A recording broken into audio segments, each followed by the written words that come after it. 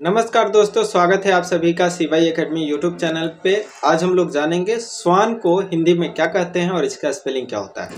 तो दोस्तों, इससे पहले वीडियो को शुरू करें, आप लोग वीडियो को लाइक और चैनल को सब्सक्राइब कर दीजिए ताकि हर रोज आपको नए नए वर्ड सीखने को मिले। तो दोस्तों, आप सभी को बता दें, स्वान को हिंदी में हंस कहा जाता है और इसका स्पेलिंग होता है S W A N swan. Swan means हंस।